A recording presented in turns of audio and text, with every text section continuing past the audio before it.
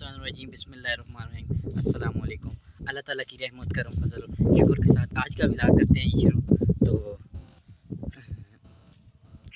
ईद का जानवर फाइनली हमने ले लिए तो आज उसे निकाल के लाते हैं। आपको भी दिखाते हैं, माशाल्लाह से। ये दो दिन रह गए हैं ईद की, ईद को। तो माशाल्लाह से जानवर भी आपको दिखाते हैं। तो यार विलाग अच्छा लगे तो चैनल को ज़रूर सब्सक्राइब कीजिएगा वीडियो को लाइक और शेयर कीजिएगा। तो हमने दो तीन दिन पहले ही ले लिए थे तो दो तीन दिन पहले हमने ले लिया था जानवर। यार जानवर बहुत ही महँगे मिले हैं तो हमारे पास तो आपको बताया बांधने की जगह नहीं थी। साथ में वो नेबर्स ही हैं, उनका बाड़ा भी है जिसे वैली बोलते हैं। तो उन्होंने उनके साथ बांधी हुई कहते हैं कि अभी एक बार नला दिला के तैयार करके वहाँ पे अभी बांधी हो, कहते हैं हम इसके आगे डाल दिया करेंगे। इसको बार बार ना लेके जाओ हमारा भी। जानवर जो हैं वो तंग होते हैं। तो हमें तकरीबन एक दस, एक लाख दस हज़ार तक पड़ा है जानवर। तो अच्छा जानवर है यार। पाँच मान तक है तकरीबन। तो जानवर हम ले गए तो मौसम बड़ा ही प्यारा हुआ है। आज दूसरा तीसरा दिन सही टका के रात को बारिशें होती हैं। तो बड़ा ही प्यारा मौसम बना हुआ है। तो सही ठंड हो गई है। मौसम बड़ा ही प्यारा है। तो जानवरों ने मैंने कहा वो कहते हैं कि यहाँ पे जाके ब्लाग बनाना है, जो करना है वो बना लो। जाते हैं उनकी हवेली की तरफ़। बताते हैं आपको अपना कुर्बानी का जानवर। और ये हमारे नए घर के ज़रा से पीछे ही हमारे रिलेटिव्स हैं। तो उन्होंने यार कहा है कि यार आप वैसे ही ना थको आप इधर ही ले गए बाँध देते हैं और उनकी अपनी भैंसें भी हैं, माल वगैरह सब कुछ, आगे चारा वगैरह डालते हैं। तो बाकी हमने चारा वगैरह दे दिए वो उसी के आगे मिक्स करके वो खुद ही डाल देते हैं और जब तक तो कहते हैं, ईद वाले दिन सुबह ले जाना। तो बाकी वो कहते हैं कि, यार रोज़ रोज़ ना लेके जाओ। तो क्योंकि क्या कहते हैं, हमारे जानवर भी जो हैं, वो भी डरते हैं, ख़राब होते हैं तो इस वजह से ईद वाले दिन सुबह लेके जाना। बाकी वो चारा शारा डाल रहे हैं। अभी मैं दिखाने जाता हूँ आपको भी तो देखते हैं। हाँ फाइनली ये जी अपना जानवर, माशाल्लाह से कितना ही खूबसूरत जानवर है। ये हमारे नेबर जान की वैली में ही बांधा हुआ है। देखें आप, माशाल्लाह से इसी भी एच पी आई हुई है। ये क्या कहते हैं, दरख्त के जो नीचे डूँगा होता है, इसके साथ देखें कैसे सर मार रहा है। और ये हमारे नेबर्स की वैली, जिसमें गाँव वगैरह और ऊपर मौसम देखें और वो हमारे नेबर्स के अबू, जो कि गाँव का गाँव का कह रहा हूँ, इसका दूध निकाल रहे हैं, भैंस का दूध निकाल रहे हैं। और ये हमारा माशाल्लाह से एक दिन की मेहमान रह गई है। कल इंशाल्लाह से ये कुर्बान हो जाएगी सुनत इब्राहिमी में। तो माशाल्लाह से आप भी बताएँ, आपको हमारा जानवर कैसा लगा? तो आपने जानवर के बारे में भी कमेंट सेक्शन में ज़रूर बताइएगा। तो बाकी यार, ये हमारा जानवर है और बड़ा आगे बारिश हुई है, अभी भी बारिश का क्या कहते हैं, मौसम बना हुआ है। तो तकरीबन चार पाँच दिन के बारिशें मुसलसल मैंने वेदर चेक किया है बताई हुई थी, अभी भी ईद वाले दिन भी बारिश है। तो फाइनली मैं तो कहता हूँ कि रात को बेशक हो, कल सुबह इस बारिश ना हो, क्योंकि ईद है, कुर्बानी करेंगे सारे तो बड़ा मसला बन जाएगा। क्योंकि आपको पता है फिर बारिश पे कहाँ लोग बाहर कुर्बानी करेंगे और बारिश तो ये बहुत काम ख़राब करेगी। तो फाइनली उन्होंने चारा वगैरह डाला हुआ अभी जाते हैं आपको जानवर भी माशाल्लाह से दिखाते हैं। बड़ा खूबसूरत जानवर है अच्छा रेट पे मिल चुका है। तो पीछे गंदन लोगों की जो इन्होंने मकई काश्त की हुई थी, उसके लिए भी ये क्या कहते हैं, ठीक हो गई है बारिश ना। तो माशाल्लाह से अभी पीछे गंदम पूरी काश की हुई है। गंदम कह रहा हूँ सॉरी मकई जो पूरी काश्त की हुई है, ये अच्छी फ़सल होगी और इंशाल्लाह अच्छी काश्त होगी। तो इनका भी बड़ा फ़ायदा था यार ये भी बारिशें मांग रहे थे, लेकिन बहुत तेज़ रात को आंधी तूफ़ान वाली बारिशें हो रही हैं। यार फाइनली इतनी गर्मी है दो तीन दिन रात को इतनी टका के बारिश होती है, लेकिन गर्मी है, जिसकी कोई हद ही नहीं अभी मैं दस मिनट के लिए ब्लाग बनाने के लिए बाहर आया हूँ तो इतनी ज़्यादा गर्मी है, पीछे नया घर का गेट तो काफ़ी गंदा हुआ। मिनट में आके यहाँ पे बैठा हूँ तो गर्मी से बंदे का बुरा हाल हो चुका है। तो फाइनली एक दिन रह गया, कल इंशाल्लाह नए घर में ही हम इधर ही कुर्बानी करेंगे, इंशाल्लाह। हमारा यही प्लान है कि इस घर के अंदर करेंगे। तो पहले भी दो तीन बार यहाँ पे की है तो इन नेक्स्ट टाइम भी यहाँ पे करेंगे। तो यार फाइनली मैं आपको बताता रहता हूँ कि आप कुर्बानी चार पाँच दिन या महीना डेढ़ पहले लाएँ तो ये होगा, वो होगा। तो इससे मैंने सही आपको बोला था अभी हमने भी लेट लाया था और हमारे लिए भी ऐसा क्या कहते हैं ढूंढना तो हमने स्टार्ट किया था लेकिन सौदा भी जाके लेट हो गए क्योंकि हमने पहले सस्ते से उम्मीद की थी लेकिन इस बार बहुत ही मंडी जो है महँगी थी और सही जानवर भी नहीं मिल रहा था लेकिन लेट मिला है महँगा मिला है। आप जितना पहले लेंगे उतना सस्ता मिलेगा और अच्छा जानवर मिलेगा तो उम्मीद है कि नेक्स्ट टाइम इंशाल्लाह हम भी इसी बात पे क्या कहते हैं एग्री होंगे इंशाल्लाह इसी बात पे हम हम्म, इस पर अमल करेंगे, इंशाल्लाह। महीना डेट पहले ही इंशाल्लाह जानवर ले लेंगे, ताकि अच्छा जानवर मिले और सस्ता जानवर मिले और अच्छी कुर्बानी हो। लेकिन इस बार महँगा मिला है, लेकिन अच्छा बहुत था। फिर हमने कहा है क्योंकि कुर्बानी आपको पता है, अच्छी चीज़ और प्यारी चीज़ की होती है।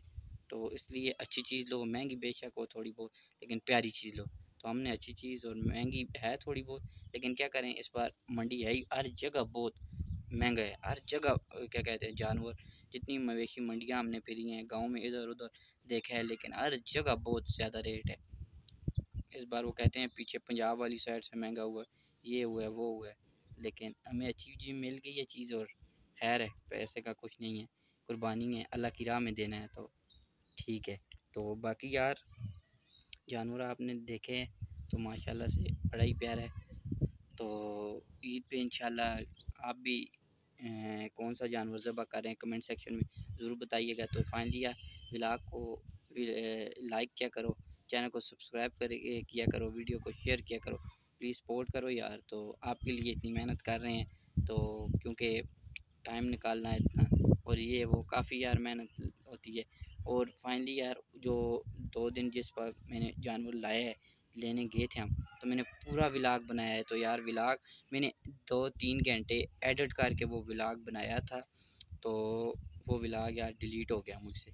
किस तरह वो एक्सपोर्ट हुआ है और आया है उधर तो मैंने उस पर पता नहीं यार दूसरी वीडियो डिलीट करते करते वो भी डिलीट हो गए। तो वो मैंने बहुत रिकवर करने की कोशिश की है, लेकिन वो रिकवर नहीं हुआ। तो बड़ा दुख हुआ है, क्योंकि मैंने जब हम जानवर लेने गए थे जुमे का दिन था, पिछला जुमा जो गुजरा है, उस दिन चाचू भी साथ थे, वो मुझे कहते हैं, ये काम करो, मैं भी अपने विला की तरफ़ काफ़ी बेस्ती भी उनसे खाई है। वो कहते हैं, यार, अभी छोड़ दो, बाद में बना लेना।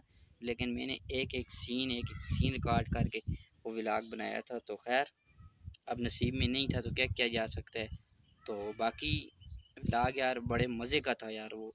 मैंने पूरी मवेशी, मंडियाँ, सब गाँव के, जिधर जिधर जिधर हमने रेट पता किए हैं, काफ़ी बड़े बड़े मोटे मोटे जानवर यार मैंने बताए और रेट उनके साथ सात, आठ आठ लाख रुपए और बाईस बाईस, बीस बीस मन वाले जानवर मैंने देखे हैं। तो मैं देख के, और मेरे जैसे चार पाँच बंदे ऊपर खड़े हों तो वो मुझसे भी इतने बड़े थे कि ऊपर जाते। यकीन करें, और इतने मोटे मोटे तो यार, वो विलाग अब डिलीट हो गया। क्या कर सकते हैं? तो फाइनली अब ये यार विलाग आप इंजॉय करें। तो प्लीज़ चैनल को सब्सक्राइब किया करें। कल इंशाल्लाह ईद का विलाग बहुत ही प्यारा और मज़ेदार आएगा। और और इसी तरह के गाँव के इन्फॉर्मेटिव और शुगल मेले वाले तमाम गाँव के देसी विलाग आपकी खदमत में हाज़िर होते रहेंगे। तो उससे पहले यार हमारे चैनल को सब्सक्राइब कर लीजिए करो, वीडियो को लाइक और शेयर कर दीजिए करो तो इससे हमारा हौसला अफजाई हो जाती है। तो प्लीज़ यार सपोर्ट करो तो बाकी बकरी आ गई है मैं व्लाग बना रहा था, मैंने पीछे जैसे ही मुड़ के देखा, बकरी खड़ी थी मेरा, इसने सही, क्या कह रहे हैं, मुझे डराया मैंने कहा, पता नहीं ये क्या एकदम में देखा है तो बना डर जाता है तो बकरी थी चाचू लगते हैं उनकी बकरी है। पीछे माशाल्लाह आप देख सकते हैं, कितनी प्यारी क्या कहते हैं बारिश की वजह से हो गई है, क्या कहते हैं मकई जिसे हम बोलते हैं वो हो गई है।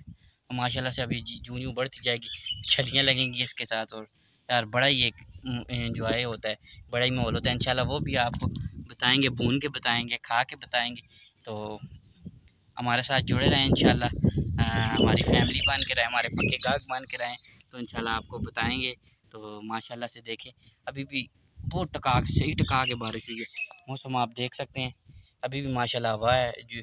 हवा है तो क्या कहते हैं हम्म, लेकिन अब बस है सावन तो ऐसे ही कहते हैं क्योंकि मौसम गर्मी का है सावन है ना अभी बंदा क्या दो मिनट के लिए बाहर आता है तो बंदे का दिल घबराने लग जाता है इस तरह की गर्मी है।